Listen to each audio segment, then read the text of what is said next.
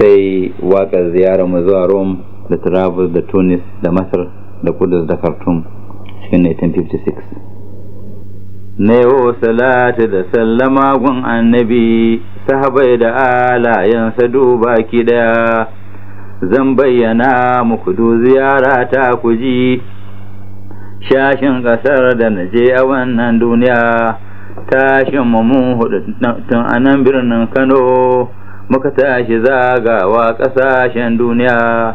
Ga mu ta baɗanta ta ga zainab kuma kuma abu da har da ali kuma ya san gaskiya.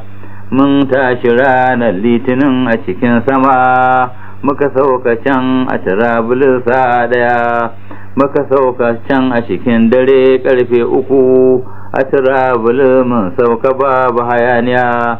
Ga larabawa masu aiki ko ina kuma ko ina an rubutun arbiya.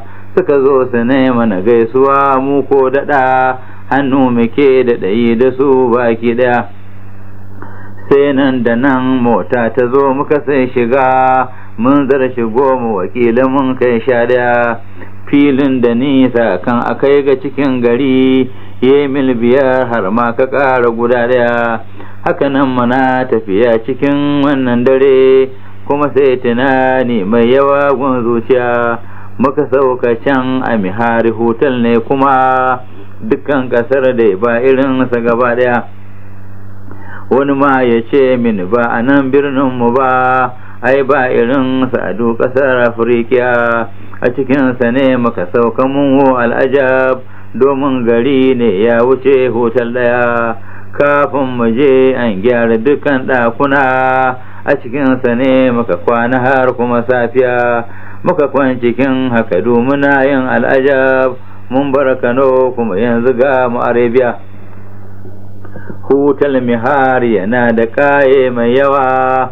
Komai a shirya abin su babu hayaniya. Talfan da wanka da kaya masu kyau. Lambu da kayan marmari baki ɗaya. Guncin abinci cikinsa ya ban al'ajab. Komai kake sosai su baka gaba ɗaya. Kuma gashi bakin teku mai kyawun gani kowa yana sha'awa tana ambaliya. Ga masu sin kifi da jirgi kankana kuma ga jira ga manya-manya na duniya. Kuma shi ruwan kore fatau mai kyan gani ya shi fari fadga ciyawa koriya. Mota agun ba za ta kirgu hakikatan kuma ba su kurmu ta sa'ikul ba tambaya. Birnin turabus ya wuce dun mai gani ya faɗe shi har kyawunsa ko an tambaya. Titin garin faɗinsa ya fi na ingila domin kwanaje ingilan baki ɗaya manyan gidaje masu tsari masu kyau sun kyautata su kware kamar na italiya. Na je wurare masu kyau a turabulus manyan wurare na gano su gaba ɗaya na je ni banki na wuce har kasuwa. Na je gidan sarkin garin baki ɗaya fadarsa ba shakka hakika ta kama.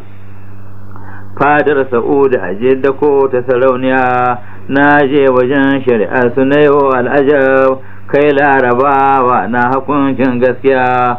Ko da wajen suturarsu in muka bincika shi ma akwai sha'awa ƙwarai bisa gaskiya. Duk galibinsu su kan fi sahular dara gafal maran kuma sai su sa jallabiya ranar talata mun ka tashi turabulus ban so na bar ta bakan hakikar gaskiya. Ranar da za na baro ta har addu'a na yi Allah ya sanya dai in koma Libya.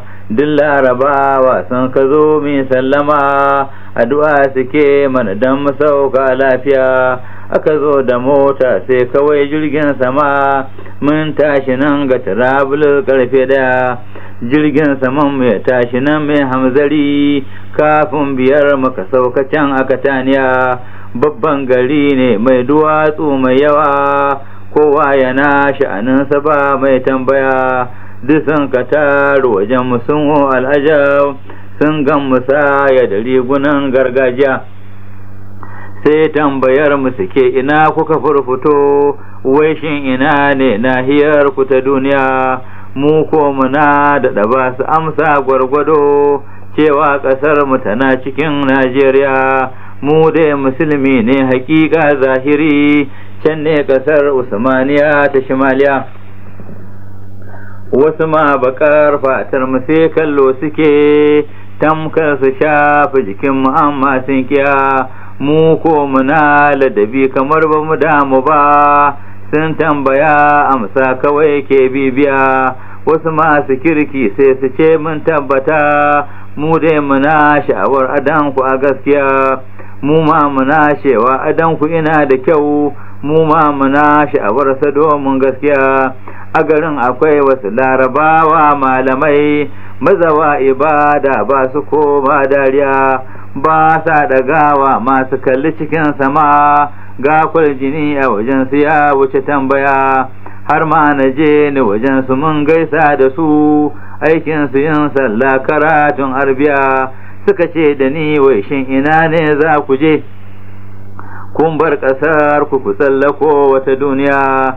Ni ko na ce musu zamugun almustafa a madina can mewo ziyarar gaskiya. Kuma za mu yiwo haji ko da dacen mun yiwo sai sun karin gumudu jikinmu gaba ɗaya wani ma cikinsu ya so ya shiɗe nan da nan. Bege cikin rayinsa ya san gaskiya. Har ma yana ta faɗin kuyo mana gaisuwa. In rabu ya so zan iso wata safiya har ma ya ce mana kun yi babban arziki.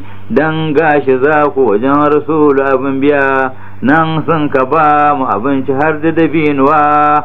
Sun sallama mana sun daɗa mana godiya.